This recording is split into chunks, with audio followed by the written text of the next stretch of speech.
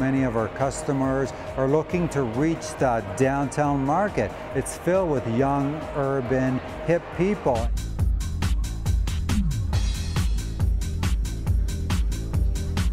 We can run with video, we can run with animation, we can run with audio, we can have live RSS feeds.